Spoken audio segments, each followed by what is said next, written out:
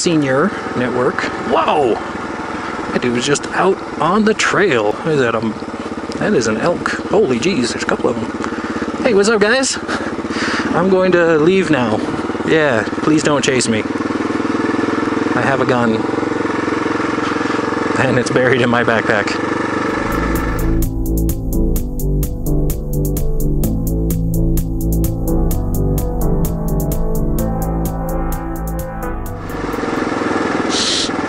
Is it though. This is just a nice, relaxing ride in the woods. This is what I needed. So stressed out lately. Well, let me tell you. So, where I work now, still the same place I worked before, there were two network technicians and a contractor when I started. And I became the fourth person or second contractor, however you want to look at it. One of the full-time guys left for another job, better pay, and I was offered his job after the con after the contractor that I was with quit. And we hired another contractor, and he was awesome, but we didn't have the funding to offer him a full-time position, and he wanted more stability, understandable. No problems there. I love that guy. He was great. But as a result, he quit. So then, it was just down to me and uh, one other guy. And he's super smart. God, this is sand. Mike was just listing back and forth. I hate that. But yeah, so he quit. And it was just me and the other guy, super smart guy. He was working on his CCIE and Cisco collaboration or Cisco voice over IP. You know, it's, it's their latest thing. So, you know, not a slouch there either. And he studied for it, and the company paid for his certification testing after he passed and they paid for his bachelor's degree, which was required to get promoted to where he was. Which brings up another part of the story. I, should backtrack for a second. I know people hate that, you know, stories don't follow a line, so think of as Tarantino for a moment.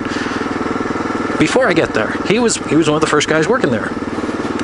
And he was hired on under a different job title because he did not have his bachelor's degree which was a requirement to have the job title.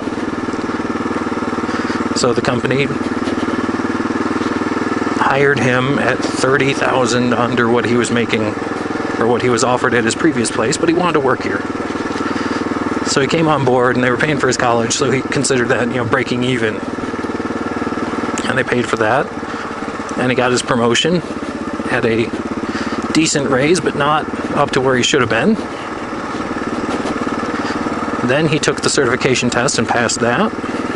And he had been given a raise just before he passed the cert. So he was roughly where he should have been when they hired him originally. They finally matched that, from my understanding. And our boss, knowing that he couldn't keep someone with a CCIE, making less, making what he was making, honestly, tried to get him another promotion. And the business said no, because he'd already been promoted two times in the last year. Through no fault of his own, he deserved to be there when they started. What they told him, oh, before I go on, for anyone who's not familiar with what a CCIE is, it is one of the highest certifications you can get in the networking career field. If you wanted to put it in terms of college degrees, it would be like the doctorate. So, he's basically at a point where he could go get a job anywhere, but he wanted to work with us. He's comfortable and happy working with us.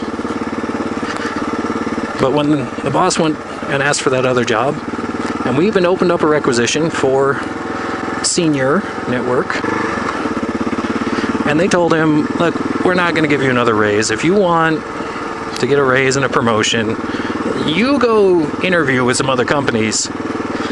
And when you get an offer, you bring it back and we'll we'll see what we can do about matching it. So he did. He did exactly what they told him to. As soon as he left that meeting, he came back and started calling recruiters. He got an interview and came back with an offer. He didn't even ask for it. They they offered to pay him 10,000 more than he was asking from our company. With a contract that said if he met expectations in one year, they would give him an additional $30,000 a year.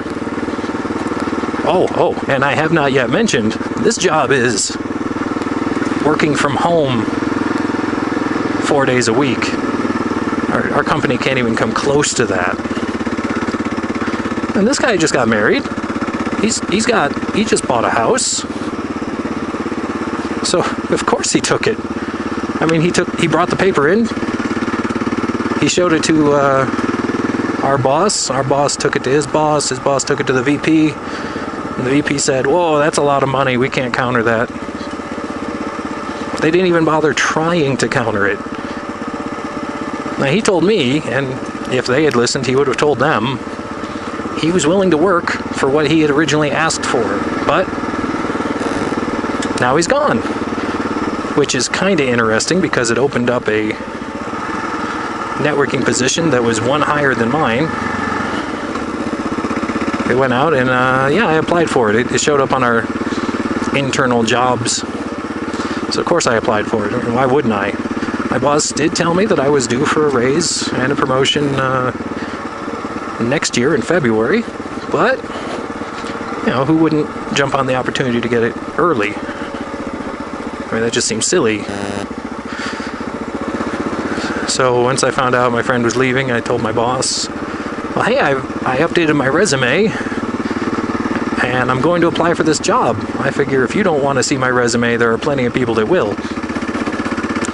Which, it, admittedly, is kind of a dick move, but it's also kind of holding them hostage because now there's just me and one other guy who has one year experience. I am now the senior networking technician for the company I work for, which is horrible because though I have 15 years experience and a master's degree, but yeah, so now I'm the senior guy. There's only two of us. And I'm now stuck on call every other week. Can't leave cell range every other week. But, you know, if anything good came from this, it's that I might get a promotion. But it's mostly bad because he's not there to ask questions or he's not there to bounce my ideas off of him anymore. I, I don't particularly like being at the top. I would be happy if we hired someone better than me to fill the other position that also opened up. So I don't know. That's my that's my new work situation.